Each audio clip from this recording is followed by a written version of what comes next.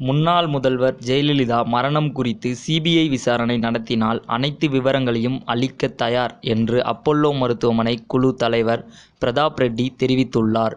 முன்னாள் முதல்வர் ஜெயலலிதா சுமார் எழுபத்தைந்து நாட்கள் சென்னை அப்பல்லோவில் சிகிச்சை பெற்று வந்த நிலையில் கடந்த டிசம்பர் ஐந்தாம் தேதி இரவு பதினொன்று முப்பது மணிக்கு மரணமடைந்ததாக அறிவிக்கப்பட்டது.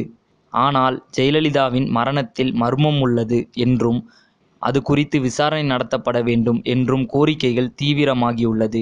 இந்நிலையில் ஜெயலலிதா மரணம் தொடர்பாக சிபிஐ விசாரணை நடத்தினால் விளக்கம் அளிக்க தயார் என பிரதாப் ரெட்டி இன்று தெரிவித்துள்ளார். அதே நேரம் ஏற்கனவே ஜெயலலிதா மரணம் தொடர்பாக அனைத்து விளக்கங்களும் மருத்துவமனை நிர்வாகம் சார்பில் அளிக்கப்பட்டு விட்டது எனவும் அவர் தெரிவித்துள்ளார். அதிமுக பொதுச் செயலாளராக சசிகலா பொறுப்பேற்பு உள்ளிட்ட அரசியல் நகர்வுகளுக்கு பிறகு ஜெயலலிதா இறப்பில் உள்ள மர்மம் குறித்த கேள்வி அதிகமாக எழவில்லை.